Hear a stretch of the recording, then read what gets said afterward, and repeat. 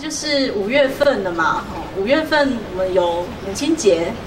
那再来六月份有毕业季，好，那都是一个呃需要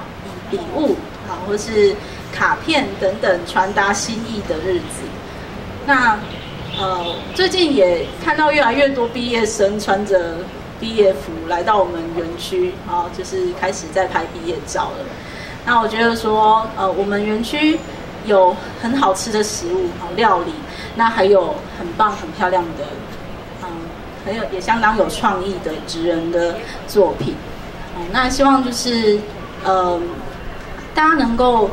哎，拨空来我们这边看看、走走，啊，享受一个美好、一个卧虎藏龙的一个地方。那市政府其实花尽心思，然后呢，把我们台南最具特色以及创意爆表的创作者都汇集在这个蓝赛图文创园区。然后每一季呢，我们每一个创作者都会想尽办法、绞尽脑汁，然后创作出最特别的一个创作。所以这次大家用春天作为主题，然后呢，结合礼物这样的概念，也希望大家在五月、六月需要挑选。为自己特别的人挑选礼物的时候，都可以在这个园区挑到属于自己最特别的礼物。那也希望大家就是，不管是呃平常日的晚上啊，或者是下班以后啊，或者是假日，都可以带自己最心爱的家人朋友来我们这个园园区这些伙伴的一个精心设计的商品。那这些的创意设计呢，都是来自于我们在地文化呃所衍生出来的。那在这一个商品，它不同于百货公司里面我们看到的这些的流行性商品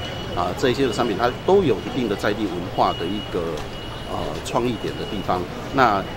来蓝赛图选购这些的文创商品，我相信这些的商品它都绝对能够代表我们台南在地的创意文化。那带着这件商品，我们可以送给远方的好朋友，在。